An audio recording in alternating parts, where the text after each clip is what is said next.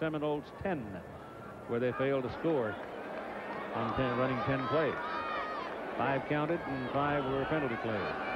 First down, and oh my goodness, Big Chris Maumalanga trying to anticipate, went through and hit Charlie Ward hard, drawing all of the laundry in the house and uh, almost starting a riot because he went through there and popped Ward pretty good. 72 right in the middle of your screen. I think old Chris said, well, I'm here. I might as well do something.